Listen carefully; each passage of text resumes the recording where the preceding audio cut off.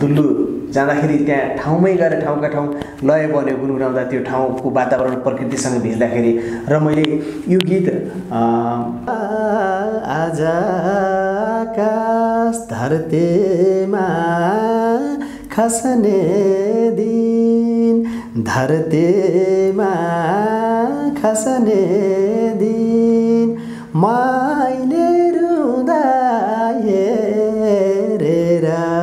बसने दिन डोलो दरबार।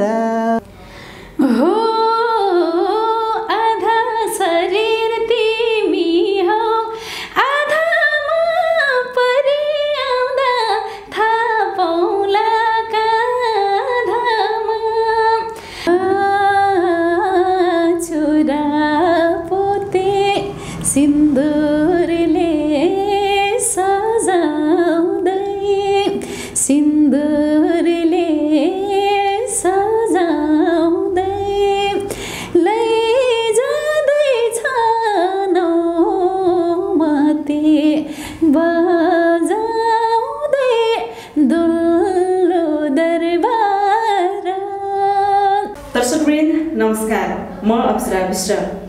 दर्शकवृन्द यति बेला हामीसँग एकदमै चर्चित कलाकारहरू हुनुहुन्छ। सुनिता बुढा छेत्री सँगै शेरबहादुर आचार्य गाइनी हुनुहुन्छ। वीरेन्द्रनगर सुर्खेतबाट प्रसारण हुने रेडियो भेरिएफएमबाट खेलौ जुहारीका प्रस्तुता पनि हुनुहुन्छ कार्यक्रम सञ्चालक पनि हुनुहुन्छ। शेरबहादुर दाई एकदमै धेरै राम्रा मिठा लोकदोरी गीत पनि गाउने गर्नुभएको छ। त्यसै गरी अहिले एकदमै चर्चामा रहनुभएकी सबैको मन मनमा जिब्रोमा मुटुमा बस्न सफल भएकी गायिका हुनुहुन्छ सुनिता बुढा छेत्री। यहाँहरूलाई स्वागत छ। धन्यवाद। धन्यवाद नमस्ते। सन्चै हुनुहुन्छ। विशेष त म सहकर्मी भने दाइको है सुनितालाई चाहिँ सहकर्मी धेरै समयपछि सँगै बसेर इन्टरभ्यू लिन पाउँदा दाइ कस्तो लागेको छ? रमाइलो भन्दा पनि गर्व महसुस भएको छ। नेपालकी यस्तै चर्चित गायिकासँग आजसँगै बस्न पाउँदा त्यो आफूलाई गर्व महसुस भएको छ मलाई।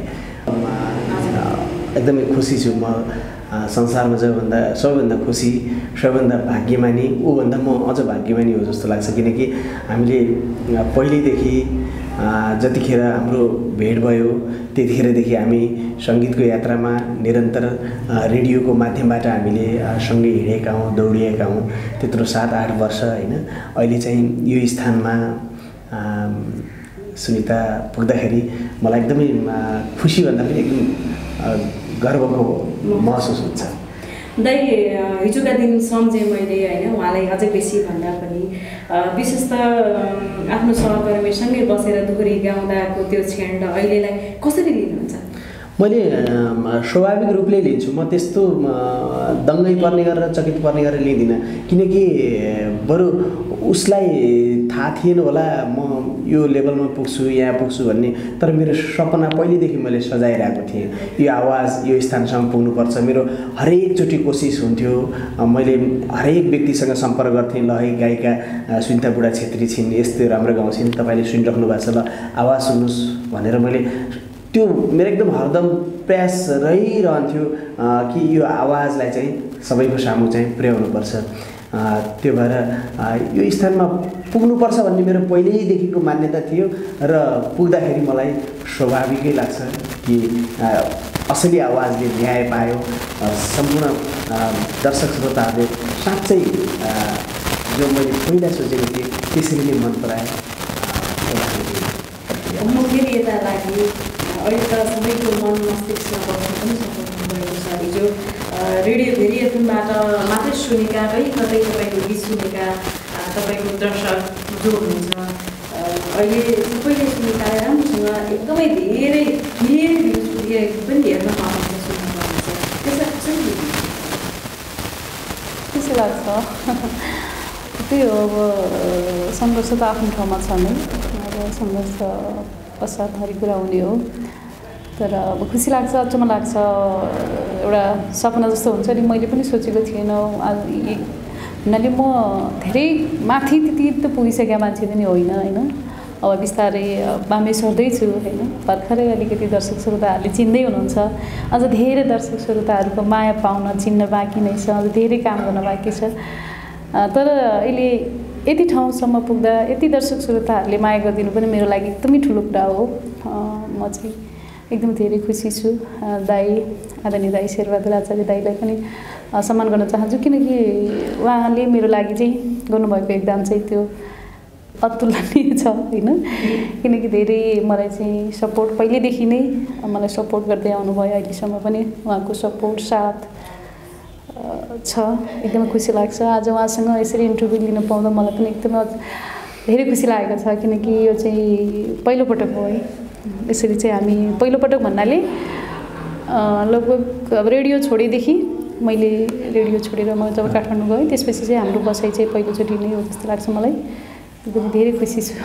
तपाईँका पछिल्लो समय एकदमै चर्चित गीत पनि बजारमा आइरहेका छन्? अहिले मेरो माया वान भए तिम्रो टु टु समथिङ केही गीत पनि आएको छ। दर्शकलाई आज हामी गीत तपाईँका कुराकानी सँगसँगै गीतलाई पनि अगाडि लैजानेछौँ। त्यो भएको हुनाले हामी गीत सुनौँ न है। दाई विष्णु खत्री। दाईको शब्द सङ्गीत हो।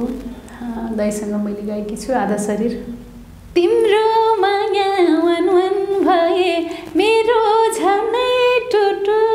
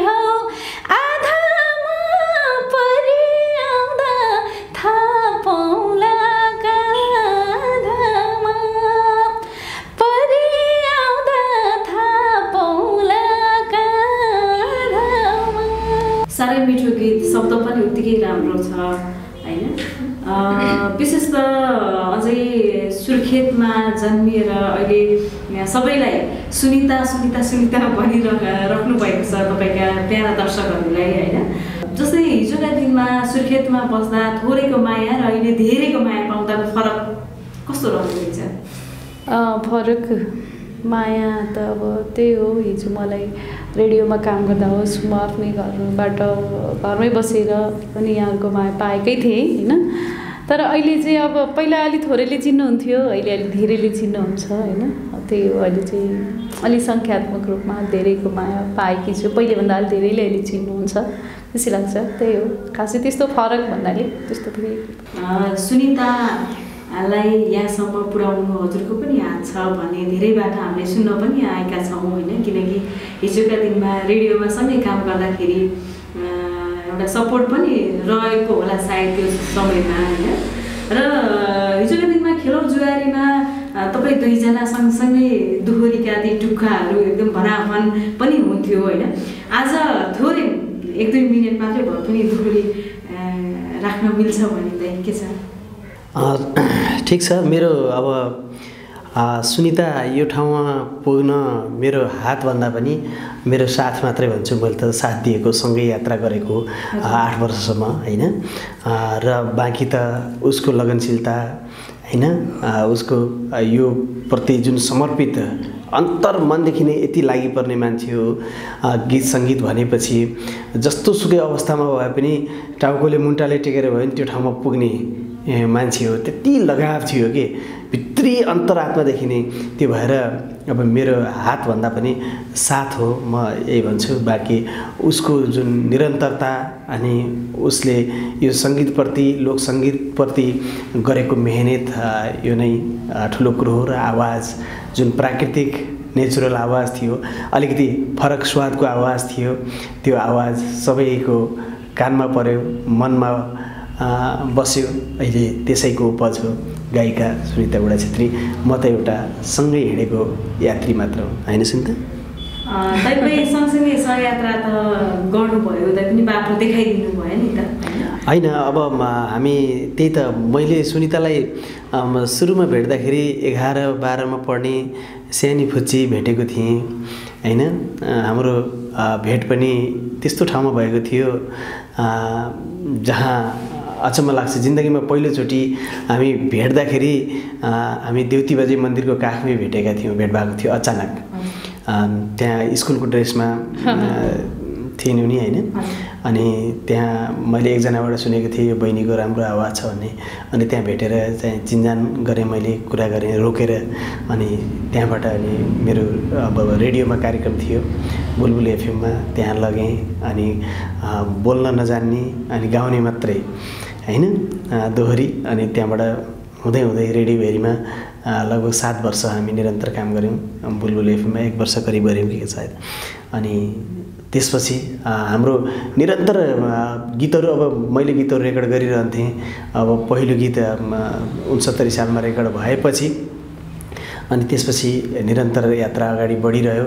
र मैले एकचोटि गन्दाखेरि काठमाडौँ नजाँदै मतलब मफसलमा बसेर पनि हामी वर्षमा दुईचोटि तिनचोटि काठमाडौँ गइरहेको थियौँ होइन। गीत रेकर्ड गर्नलाई। मैले त्यो सबै जोरजाम मिलाउँथेँ सबैसँग यताउता सम्पर्क गरेर ल है भनेर अनि हामी काठमाडौँ जान्थ्यौँ आउँथ्यौँ गीत गाउँथ्यौँ। सबैले काठमाडौँका स्टुडियोमा पनि कति राम्रो स्वर अनि बहिनीको यतै बस्नुपर्छ राम्रो छ भविष्य भन्ने कुरा गर्नुहुन्थ्यो। अनि अब सायद समयको माग थियो होला होइन? अनि त्यसपछि पचहत्तर सालमा त्यता गएपछि एक डेढ वर्षमै त्यो उचाइ चुलियो होइन? त्यही भएर जे छ एकदमै राम्रो भयो जुन आवाज जुन मेरो चाहिँ हरेक पलको मेरो सोच हुन्थ्यो चाहना हुन्थ्यो यो आवाज यस्तो हुनपर्छ है भनेर र तेत्तिसवटा गीत मफसलमा बसेर पनि तेत्तिसवटा गीत चाहिँ रेकर्ड भएको थियो सुनिता काठमाडौँ जानुभन्दा अगाडि। त्यो एउटा धरातल तयार भइसकेपछि त्यसले पनि ठुलो काम गर्यो जस्तो लाग्छ। र निरन्तरता एकदमै ठुलो लगनशीलता लगाव त्यो भित्री इच्छा शक्ति अति नै थियो। गीत सङ्गीतप्रति सुनिता दैले रेडियोमा काम गर्न थालेको कति वर्ष मैले एघार वर्ष भयो। एघार वर्ष अनि उहाँले हजुरले कति वर्ष काम गर्नुभयो रेडियोमा?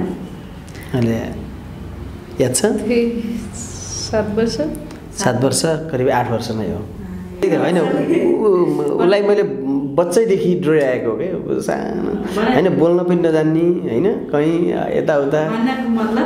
तिन वर्ष पहिला हजुर हुन्छ नि अब रेडियोमा अब बोल्न सिकाउनु भयो होइन। अब गीत गाउन त उहाँसँग क्षमता छँदै थियो हुन्छ नि तपाईँसँग अरूसँग भन्दा पनि हजुरसँग अविस्मरणीय क्षणहरू छन् उहाँको चाहिँ। विशेष त गीत गाउँदाखेरिका क्षणहरू होइन? त्यो भयो। र कहिलेकाहीँ हुन्छ नि रेडियोमा एक्लै गीत गाउन पठाउनु भएको छैन जस्तै कार्यक्रममा दर्शकहरू पनि आउनुहुन्थ्यो। हजुर नभएर उहाँले मात्रै गीत गाउनुहुन्थ्यो बरु त्यही त मैले अघि नै उसको लगनशीलताको विषयमा लगावको विषयमा मैले कुरा गरेँ। म अचम्म लाग्थ्यो कि बरु मैले छुट्याउँथेँ कार्यक्रम होइन। तर सुनिता भने दौडेर पुगिहाल्ने। कहिल्यै कार्यक्रम छुट्याएको रेकर्डै छैन।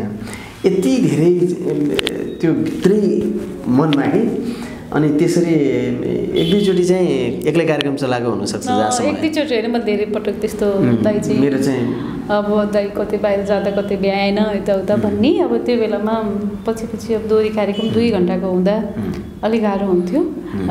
अरू कार्यक्रममा आफ्नो कार्यक्रम भ्याएर कतिपय दाइको पनि सम्हालिदिनु पर्ने हुन्थ्यो। कहिले कहिलेकाहीँ दाइले नभ्याउँदा यस्तो हुन्थ्यो। मलाई साँच्चीकै म त्यतिखेर मलाई मलाई अहिले अल्छी लाग्यो भने कहिलेकाहीँ रेकर्डहरू म अल्छी लाग्यो। मलाई काम गर्न अलिकति मन लागेन भने म आज सक्दिनँ बिजी छु भनेर भन्छु। तर त्यतिखेर त रेडियोको कार्यक्रम कार्यक्रम त त्यसरी म बिजी छु छु भनेर पनि भन्न पनि नमिल्ने।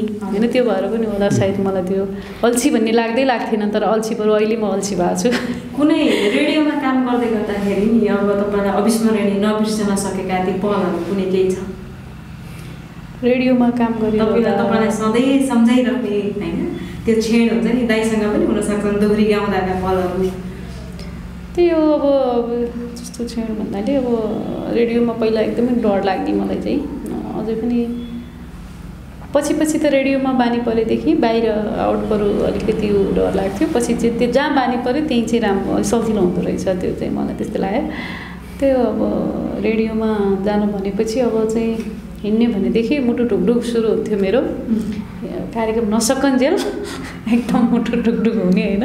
कहाँ के हुन्छ कति बेला बिगार्छु कि कता के हुन्छ के हुन्छ भन्ने अब हुन्छ। नि त कार्यक्रम नसकन्जेल त्यो खालको केही टेन्सन। त्यो चाहिँ एकदमै भइरहन्थ्यो। त्यो टेन्सन हुँदा पनि सायद त्यति बेला एकदम म कहिले मोटाउन पनि खासै सकिनँ। एकदमै एकदम घर त अलि तलै हाम्रो फेरि साइकलबाटै पैँतालिस मिनट लाग्ने मलाई साइकलबाटै पनि। अन्त एक्सर्साइज पनि धेरै हुन्थ्यो सायद खाना खान। सायद बिहानको खाना त मैले राम्रोसँग टन्नले खाएर कहिले पनि आउँथिनँ। प्रायः जस्तो कहिले खाने खान्थेन बिहान। हतार हुने होइन घरतिर काम पनि हुने त्यस्तै छिटो छिटो दौडेर भेटाउनु पर्ने टाइममा यस्तो गाह्रो पर्छ। भनेपछि ती ती छेडहरू रहेछ। अहिले अब सुख हल्का पाइयो मोटाउनु पनि भयो होइन मोटाउनु त अझ कति मोटाउँथ्यो होला यही पनि अझ मेन्टेन गरी गरी अलिकति। मोटाउनु हुँदैन भन्ने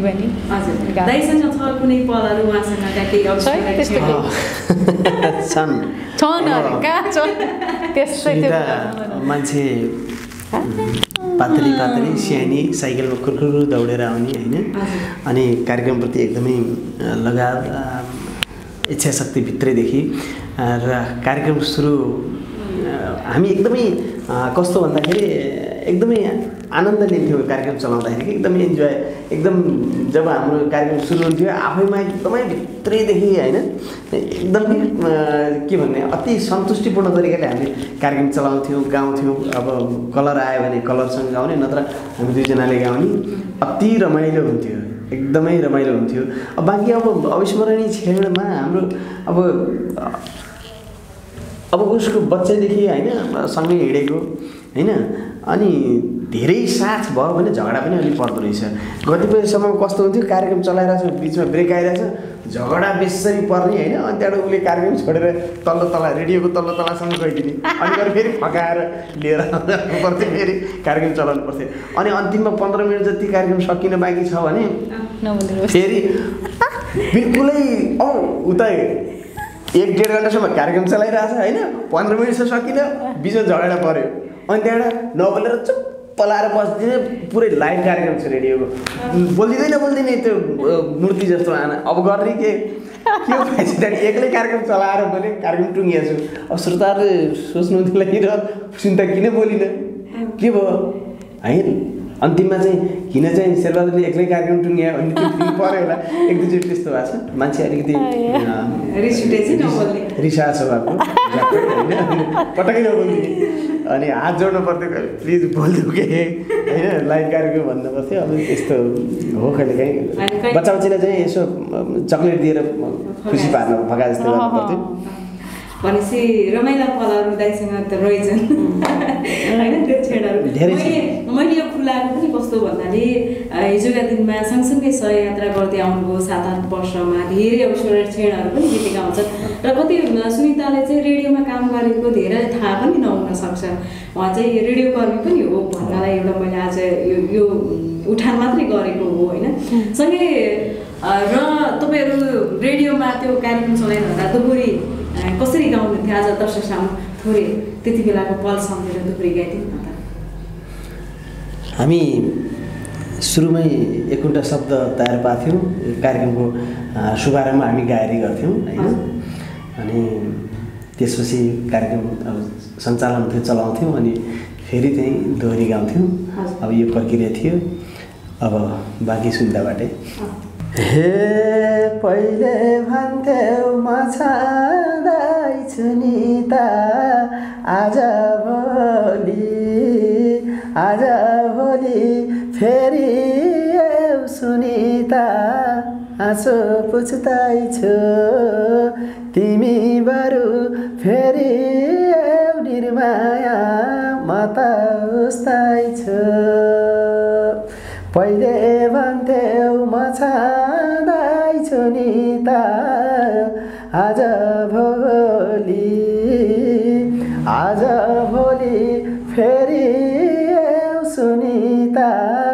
गुनासो पुछ्दैछ। तिमी बरु फेरि निर्माया म त उस्तै छु तिमी बरु फेरि सुनिता म त उस्तै छु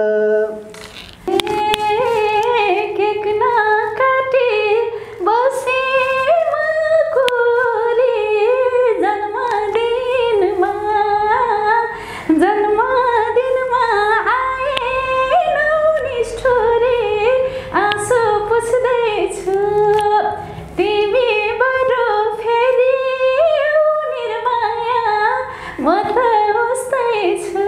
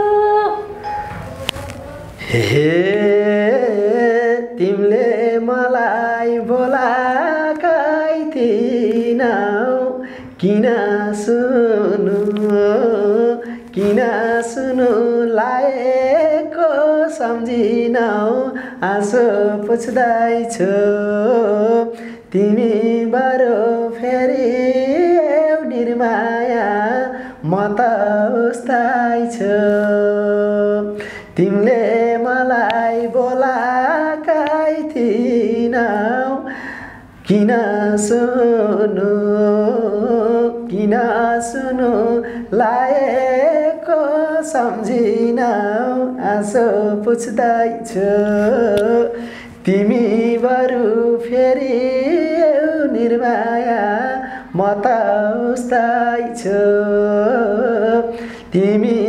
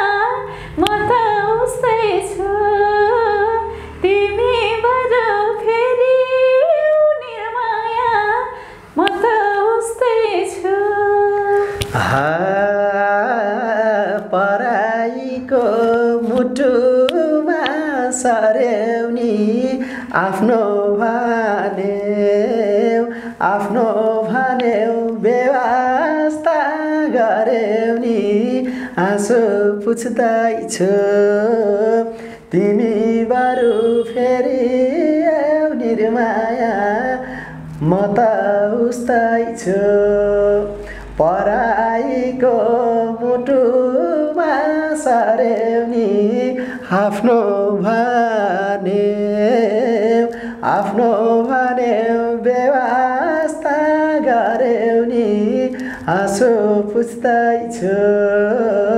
तिमी बरु फेरि निर्माया म त उस्दैछु तिमी बरु फेरि सुनिता म त उस्दैछु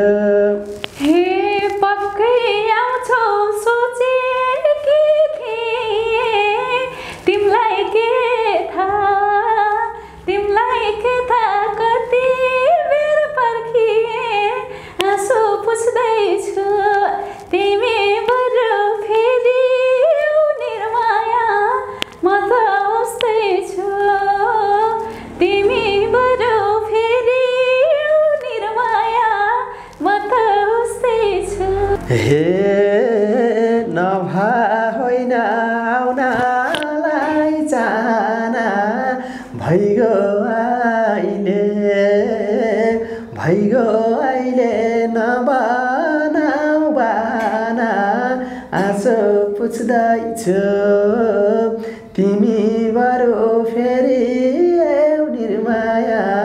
म त उस्तै छु म त्यो आवाज बनोस्। जसरी अहिले हाम्रा पुराना त्यस्ता गायिकाहरूको आवाज सुन्दाखेरि मान्छेहरूको जनजीवनमा झुन्डिएको छ होइन? त्यो सदाबहार आवाज बनोस्। सदाबहार त्यो व्यावसायिकताको बेलाको मात्रै होइन सदाबहार त्यो आवाज बनोस् सबैको मनमुटुमा बसिराख्ने सधैँभरि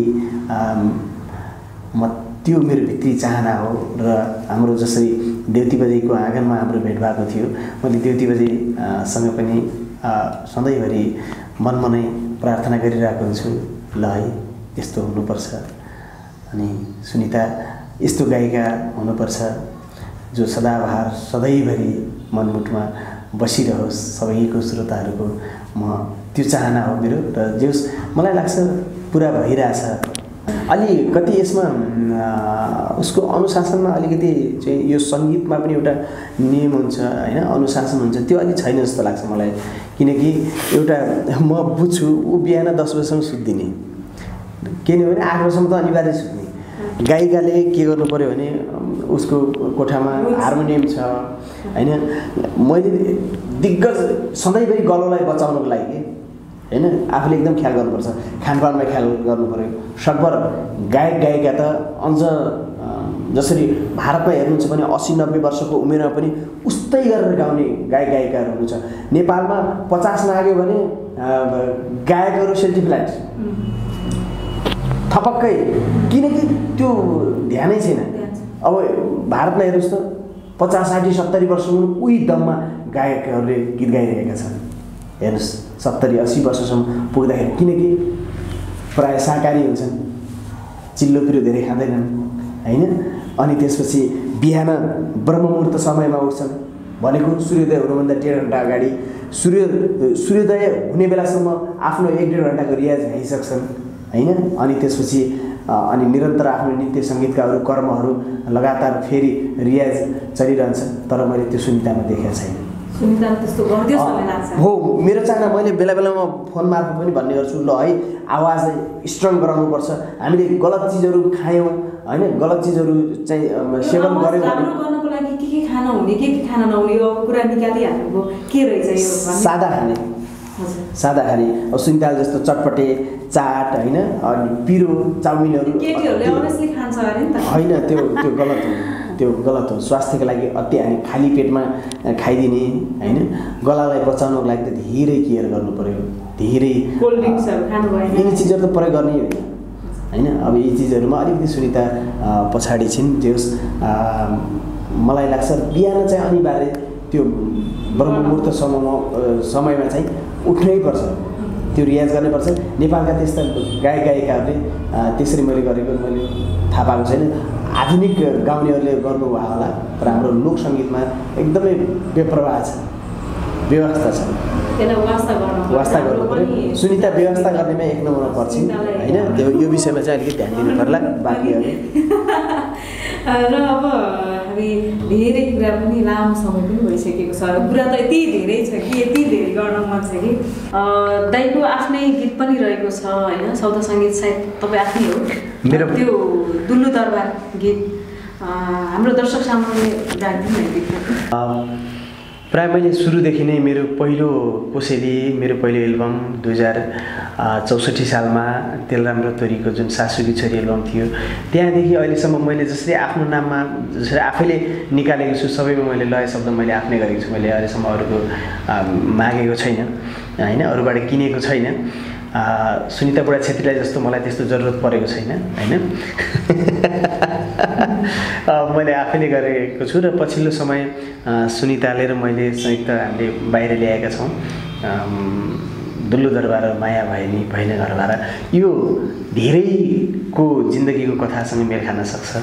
धेरैको जीवनमा प्रेम कथालाई हेरेर मैले यो लय शब्द बनाएको हो। र यो लय शब्द बनाउँदाखेरि मैले दुल्लु घुम्न जाँदाखेरि नै त्यो दुल्लु बजार अथवा त्यो जुन एरियामा घुम्न जाँदाखेरि त्यहाँ यो शब्द लय निस्किएको र यो ऐतिहासिक गीत हो। किन प्राकृतिकसँगै ऐतिहासिक गीत हो मेरो जिन्दगीको लागि।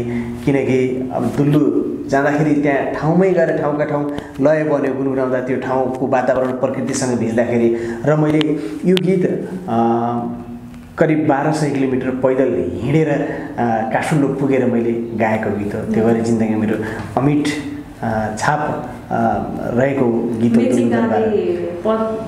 पैदल यात्रा महाकालीदेखि मेचीसम्म। पैदल यात्रा हिँडेर फेरि हेटौँडाबाट फेरि काठमाडौँ पुगेर त्यो आफ्नो यात्रा समापन गरेपछि मैले गाएको गीत हो यो गीत दर्शक सामने राखिदिनु पर्यो हुन्छ सुनिताबाट सुरु गरौँ अरू पनि गीत गाएको छु भन्दा पनि मेरो सुरुवातदेखि नै मेरो सुरुवाती रेकर्ड गीत नै दाईको सङ्गीतबाट नै भएको हो होइन अँ, त्यसैले यो गीत पनि मलाई दाईले अँ, मलाई मनपर्ने अझै मेलोडी बनाउनु भएको थियो। धेरै गीतहरू छन् तेलराम बलराम खरेल।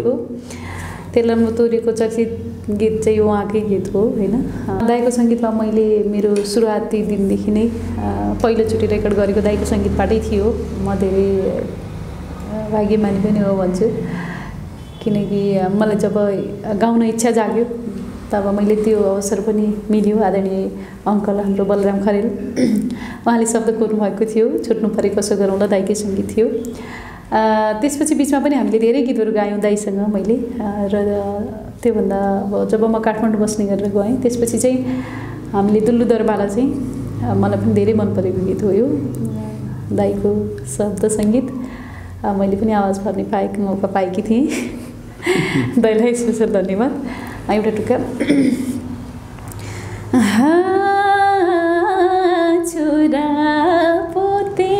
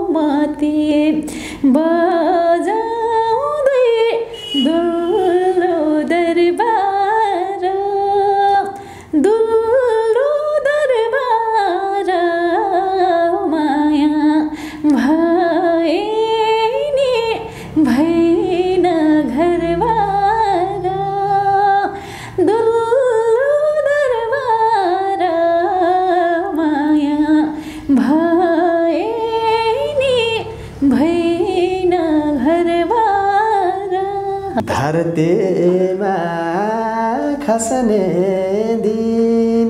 धरतीमा खस्ने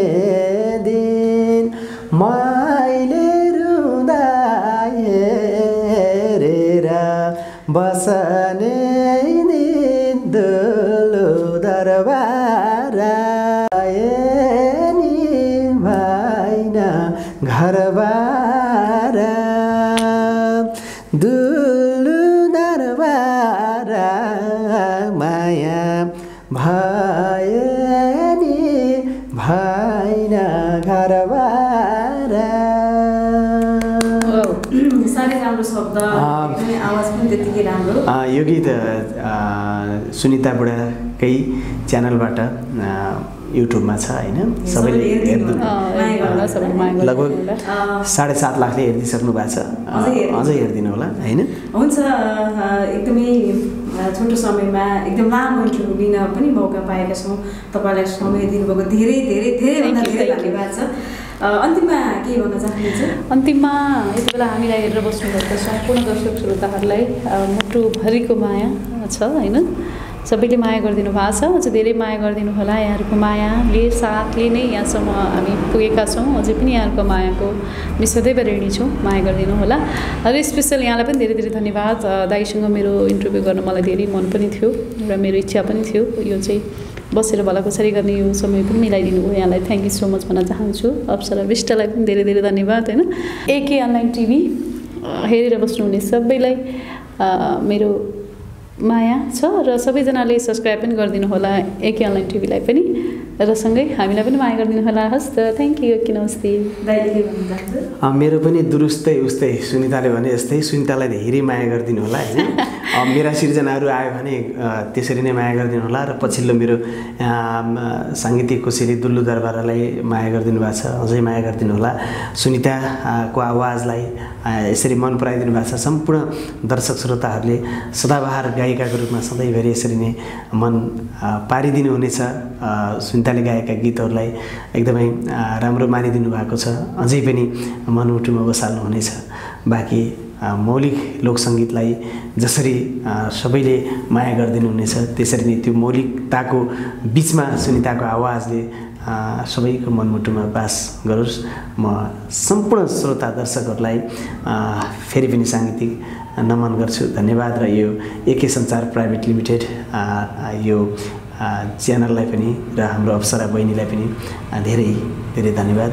अ, सुनितासँगको आजको यो भलाकुसारी गर्ने जुन मौका जुराउनुभयो धन्यवाद। हुन्छ दुवैजनालाई धेरै धेरै धन्यवाद। धन्यवाद नमस्ते